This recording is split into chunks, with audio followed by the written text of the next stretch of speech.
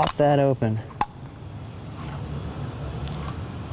And inside is their quarter. All right, so let's say we were at a barbecue. I'd ask someone to borrow a quarter, give them a pin, and I'd tell them to put their initials on both sides of the coin. We'll just do mine. W. H. Just like that. We're to let that dry. I then tell someone to uh, just grab a beer can out of the ice box, maybe a can of soda, whatever they got, and watch. If I take the beer and the quarter,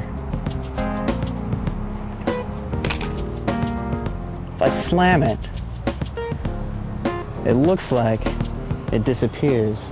Sometimes you can hear it though. Here, I want you to see. There's nothing on the bottom of the can. The top is uh, still sealed. I try to get it towards the bottom here. Hold on. I really want you to hear this. Here. Right there. Right down towards the bottom. Think, uh, here. I just shook it up a bit, but pop this open.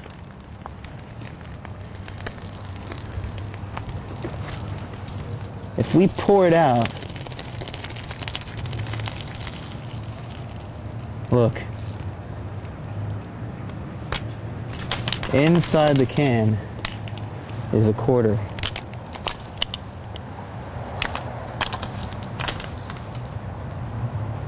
And you can see that is the exact same quarter that we started with.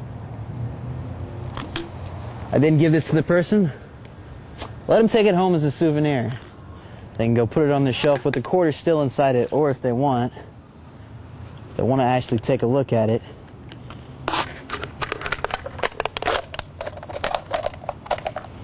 pop that open. And inside is their quarter. And that is sinful. My Effect Sinful, also known as the quarter through soda can, is available on Criss Angel's Masterminds DVD Volume 1.